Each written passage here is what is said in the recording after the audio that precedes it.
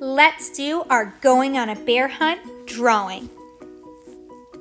You're going to start by taking your pencil and writing your name on the back of your paper. You can include your number and the day of the week. Then turn your paper over. We're going to start by drawing our house and our bear cave. You're going to grab any color crayon you want for your house. I'm going to use blue. On one side, you're going to draw a blue square for the walls of your house.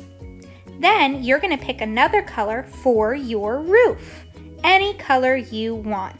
We're going to draw a triangle to be the roof of our house. If you want to add a chimney, you can add that right on top. Don't forget to add a door. A great shape for a door is a rectangle. Add a circle for your door knob. Once you have drawn your house on the totally opposite side, we're gonna add our bear cave. Pick a brown, a gray, or a black. And we're gonna start with an upside down U for our cave. Now to make it look more realistic, we're gonna add some rocks going all the way around our cave. We're gonna add some lumpy ovals to be our rocks, and we're gonna have our rocks be different sizes, all on top of each other. Once you finish with your rocks, we're gonna add the bear inside of our cave.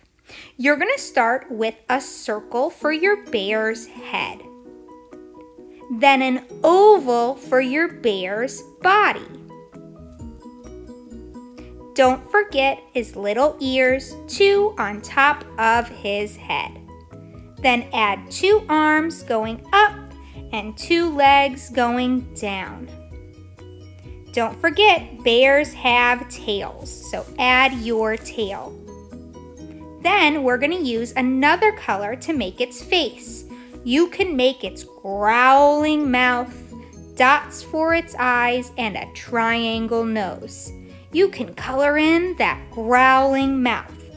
Now let's color in our bear. I color it lightly first. And then I want to make my bear look fluffy. To make it look like it has fur, I press down hard and I make zigzags all over his body.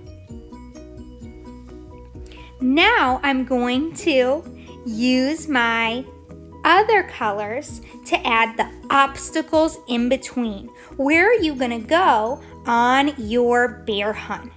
Look, I have a grassy field filled with flowers and oh no, look at those bees.